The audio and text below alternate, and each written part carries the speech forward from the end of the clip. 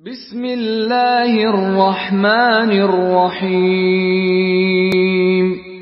দয়াময় পরম দয়ালু আল্লাহর নামে لإيلاف قريش যেহেতু কুরাইশের আসক্তি আছে إيلافهم رحلة الشتاء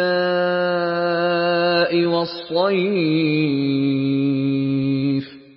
আসক্তি আছে তাহাদের শীত ও গ্রীষ্মের সফরের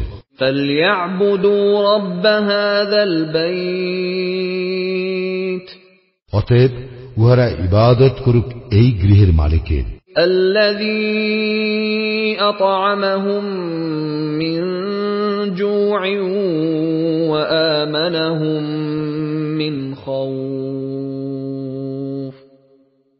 যিনি উহাদেরকে ক্ষুদায় আহার দিয়াছেন এবং ভীতি হইতে উহাদেরকে নিরাপদ করিয়াছেন।